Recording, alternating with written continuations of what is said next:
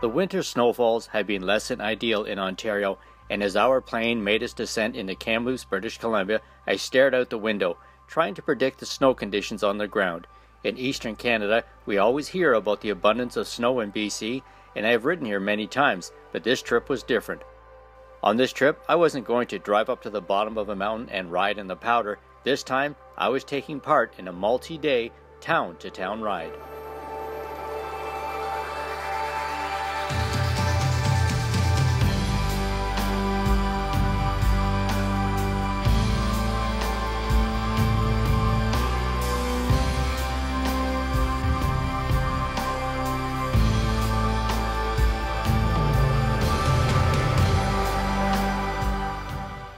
This ride was in celebration of 50 years of snowmobiling in British Columbia, and several communities and clubs were joining together to create this event and tackle the challenges of this rarely used route. Unlike in the East, joining mountain towns with trails is a massive undertaking, an adventure that I was going to be a part of, much like the early gold prospectors who walked this gold rush trail in search of riches. As our group began to unload sleds for this nine day ride, I was meeting these people for the first time people who I would spend the entire next 10 days with. This was a very lively and very fun bunch of snowmobilers. They were dedicated sledders who would give me insight into the great adventures, but also the many challenges that BC snowmobilers have overcome and continue to face today and in the years to come.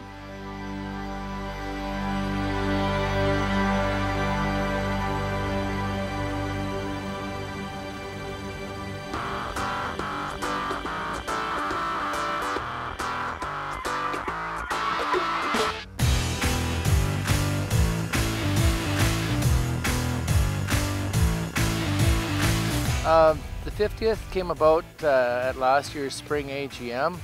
Uh, we were all sitting around talking with uh, various clubs and stuff, and then the, the Kamloops Club came up with the idea of having a ride. They do it every year, or semi-annually, from Kamloops to Wells, Barkerville, and back. So the more we talked about it, the more we liked it, and uh, we had another couple meetings, and, and uh, everybody agreed, and we just went at her. We started uh, I think in uh, March last year it started. Had our first meetings in June, July, and, and we've been working hard at her since. Well, in uh, with BC, uh, membership is not mandatory, um, which puts us at a decidedly disadvantage compared to, say, Quebec and Ontario, where if you're going to ride a trail, you have to have a membership. Uh, we know there's about 45,000 sledders within BC. We represent about 16%. So the funding is, is nearly not what it should be in terms of infrastructure to, or to promote infrastructure, to create more infrastructure within BC. But it's something we're pushing hard with. We work closely with government on a number of things. You know, we, we apply for a number of grants, either provincial or federal, to help us with, with our, our grooming programs and helping with us with our clubs. So that's basically where we sit right now. We're 72 clubs strong and uh, you know it's a, it's a really tight knit community. But uh, increasing our membership is definitely what we need to uh, to need to promote to help build the sport a little bit more in BC. We don't have the funding available at the provincial level to offer to the clubs, so it's up to the clubs to, under their own volunteer effort, to go work with local government officials to get any type of funding they can to put up uh, put up signage and, and work with uh, you know work with keeping the trail system going. Our biggest challenge when I took over uh, was uh, we had some significant financial problems. Uh, we needed to streamline what we were doing a little bit better, which we achieved. We also had two provincial associations at one time. Um, there'd been a split about eight years previous, and there was uh, there was a challenge there to bring all the clubs together. So we worked together with, you know, I, I won't take all the credit with it. By no means that was on me. Uh, we had a great team on both sides and we worked really hard to get it together. So now we're all under one umbrella, all 72 clubs working together. And this ride is a good culmination of that because it's the clubs right across the board that are involved in it. And there's no way this ride would have been able to happen if we wouldn't have had the support and uh, cooperation of everybody working together.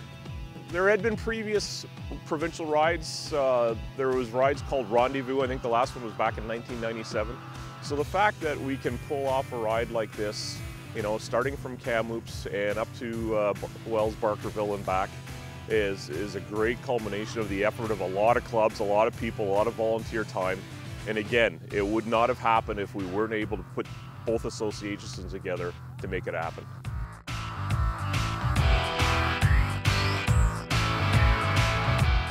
I was so stoked to come on this ride. Uh, I come from Pembroke, Ontario, and being able to ride a trail system that would take you uh, from community to community. Uh, being 47 now, I wanted to have that opportunity here. It's definitely been an eye-opener to the struggles, but it's been an eye-opening eye -opening to the communities, uh, the generosity of those clubs within those communities. Um, and you can see how the money we dropped in every community would be big for them. So we need to develop this within, within British Columbia.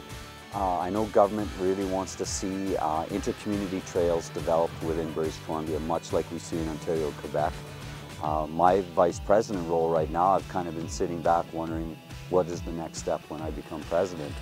Um, clearly, we need to have government's eyes open to how difficult it is for tourism and to raise tourism dollars for these little communities uh, getting people to and from the trail system and into their restaurants and into their hotels as we've all experienced. Uh, changing carbides and skis in the nighttime just to travel on those roads. So if we're going to develop that as a tourism industry in this province, we need to get the government's eyes open to how to, to the struggles we've gone through in this past week. Yeah, I mean, we've got a guy riding here who's from Sudbury. Came here to do this ride with his son. That's, that's, I mean, that's what snowmobiling does. Like for me, it's all about family, communities, um, and sticking up for each other. In the snowmobiling world, that's what they do. They stick up for each other. The tragedy in McBride, you know, I know the young man did an interview for Global TV, Rodney Welton, and my heart just grieved for that man and uh, trying to deal with uh, all the media and, uh, and families and, and visitors and at the same time realize that, you know, I know tragedies happen a lot of people say, well, why do you continue to do what you do? Well, a lot of it is the camaraderie, the friendships that we've built out on the hill, out on the trail, around a campfire, eating a hot dog. Um, that's a big part of it. It's not just about riding a snowmobile, it's about all the other stuff and the laughs that happen with it.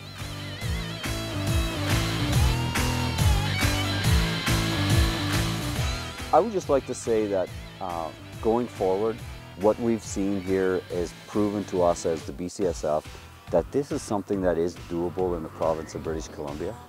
The mountains have certainly drawn tourists into our communities. Um, that's a drawing card that's there. We want to see other people come uh, that, that don't necessarily want to ride the mountains. They want to come and they want to do this intercity, intercommunity thing and, and ride a trail system that has to be developed for British Columbia so that we can see businesses thrive, small family businesses like we've seen today. The other thing I'd like to say is uh, just an outpouring of thanks to every club along the way that has put so much into uh, making this a, a, great ride for us. We've made friends all along the way. Everybody's, uh, you know, happy and high-fiving and having laughs back at the, at the restaurants at night, and it's been just fantastic for me.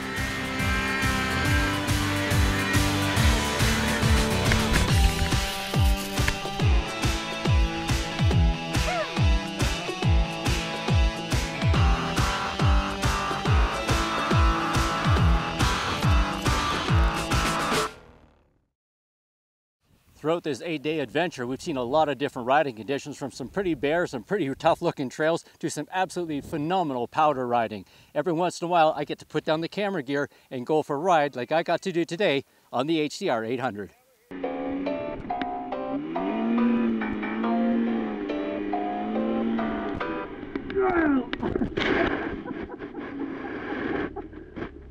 I'm not in this. You're naked.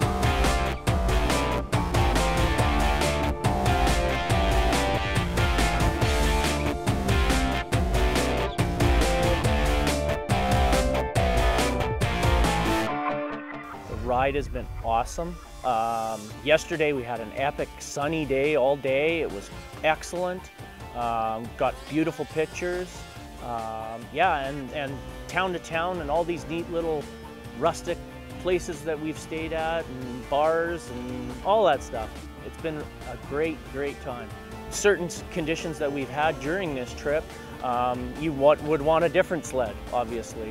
Um, today we were on Yanks, and, and of course you want a mountain sled to play in the snow. So yeah, no, it's, it's really good to be able to try all the sleds and you know wide ski stance, narrow ski stance, long track, short track, uh, you know a wider front end, better in the bumps. Um, yeah, you get to try all that stuff. Obviously, this long of a ride, you get to figure out what things can go wrong on a long trip like this, um, and uh, try and make it better so that you can tell people what could go wrong if they do decide to do a trip like this. Well, at least then I can I can distinguish with what type of riding they're going to do, and and then figure out what sled I should be pointing them towards.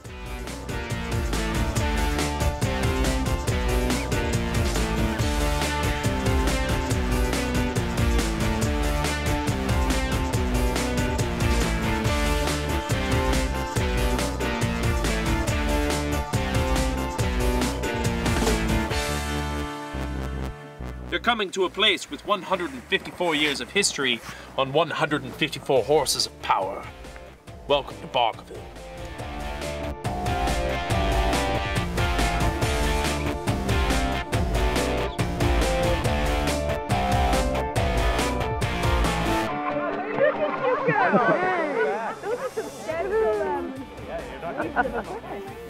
So Barkerville is a gold rush town that sprang up in the mid 1800s, 1862, around a major gold strike from Billy Barker, who came from England. 4,600 people um, at its peak, and it, after the 1800s gold rush, um, it, the population died down a little bit until another gold rush um, came in the 30s in nearby wells and then there was a bit more action in placer mining again. And in 1958, the province declared it a National Historic Site of Canada. Yes, yeah, there's a few replica buildings on site, but most of the buildings are original buildings.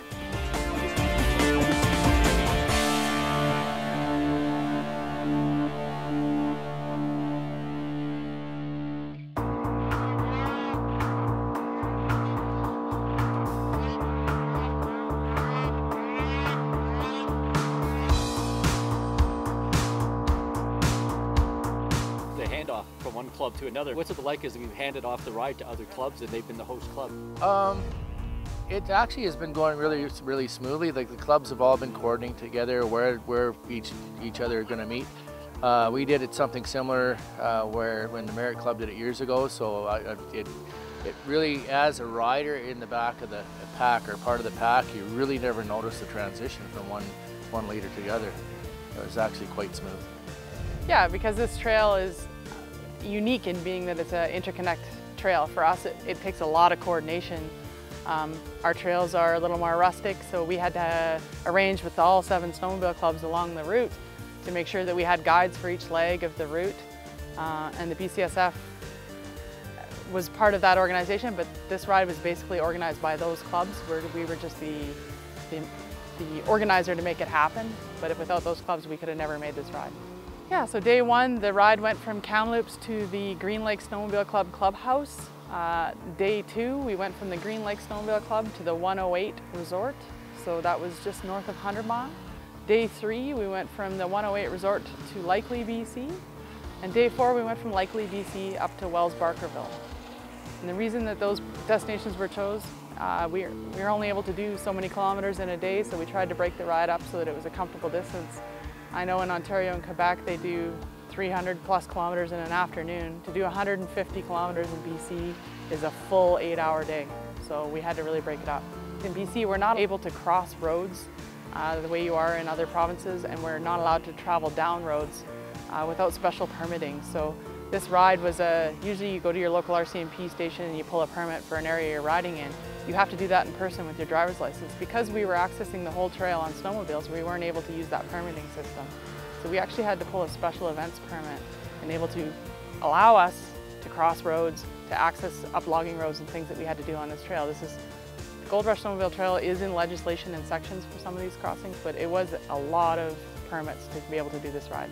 The groomer always returns to the same place because they go up the hill, they get to the emergency shelter, and they come back down, and that is the only trail. So uh, when you compare kilometers of trail with other provinces, we have a very few kilometers of trail because we just access alpine above the trees and then ride above the trees and there's no uh, trail. So our trails are very short. We just go up to the chalet and then back down. Yeah, the chalets are actually emergency shelters. So there's always wood, wood stoves, food, emergency uh, supplies, first aid, all those things in those shelters because if you ever get stranded on the hill, you know that you can always go back to that emergency shelter and be safe and warm for the night. Anybody coming out, even if it's not really severe avalanche terrain or big, big terrain, they, they should seriously consider taking avalanche skills training level one, bare minimum. Uh, anybody that's had it should consider taking uh, a refresher course, like a companion rescue course every couple years. Keeps people fresh. Things change regularly. Um, even in the in the few years that I've been uh, in the avalanche industry, uh, it is uh, amazing the changes that take place because of new technology, etc. And uh, especially have a beacon, probe, and shovel with you all the time in a backpack, not on your snowmobile. Yeah, from the BC Snowmobile Federation, we've been working really hard with Avalanche Canada to educate snowmobilers. Uh, snowmobilers have taken more avalanche courses than any other uh, user group. Uh, it's still on the rise while other user groups are still going down. Um, everybody on this ride showed up with the right gear, the right training. It, it was, uh, we see less and less people in the backcountry that don't know, have the equipment or know how to use it. I would say that it's, uh, it's the norm now that, uh, that people have that. If you talk to anyone in the world, BC's on their bucket list of places they want to ride. BC has a huge untapped potential for tourism.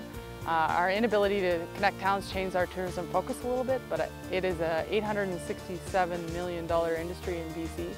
And some of these uh, smaller towns are working to get themselves on the map. Uh, we're here in Wells, Barkerville. Uh, snowmobile tourism is their primary tourism in the winter. If you head down to Valemount, Sicamous, Revelstoke, Golden, those towns exist in the winter because of snowmobiling. With the trip winding down, it was interesting to see the towns and points of interest on the return trip, places that were unknown to me just one week earlier. As the trip concluded and we loaded the sleds on the trailers, I had gained an insight into the challenges of this powder province and also made many new friendships that I know will carry on for many years and for many more adventures.